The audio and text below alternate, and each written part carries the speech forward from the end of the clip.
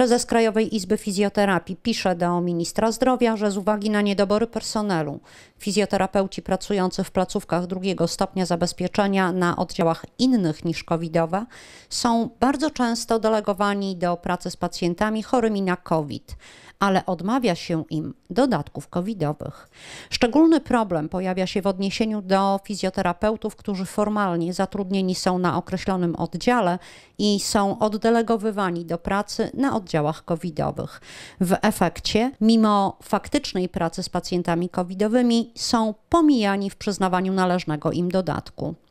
Zdaniem prezesa Krajowej Izby Fizjoterapii ostatnia zasadnicza zmiana treści polecenia, czyli rozliczanie godzinowe pracy z pacjentami chorymi na COVID, powoduje nierówne traktowanie medyków nie tylko w różnych szpitalach, ale nawet w tej samej placówce, ponieważ wskazanie osoby uprawnionej do dodatku covidowego zależy od uznaniowości i wolnej interpretacji zarządzającego szpitalem, pisze dr Maciej Krawczyk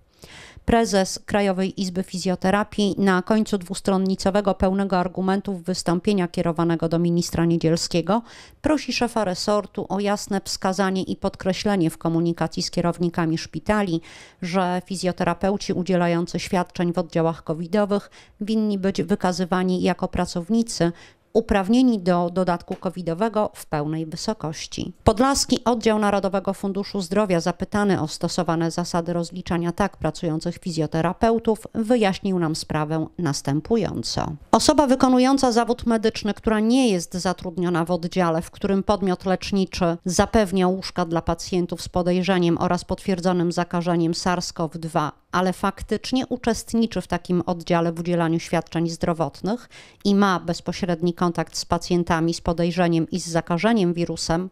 jest uprawniona do otrzymania dodatkowego świadczenia pieniężnego według zasad obowiązujących od dnia 1 czerwca 2021 roku. Z tej odpowiedzi jednoznacznie wynika, że medycy codziennie pracujący z chorymi na COVID powinni otrzymywać pełny dodatek, a nie tylko jego część za godziny fizycznie spędzone przy pacjencie, nawet wtedy, gdy wykonują świadczenia przez część dniówki. Branżowy magazyn Rynek Zdrowia w tytule publikacji poświęconej temu tematowi pisze o skandalu, a ujawnioną przez prezesa KIF-u uznaniowość i wolną interpretację nazywa nadużyciem prawa.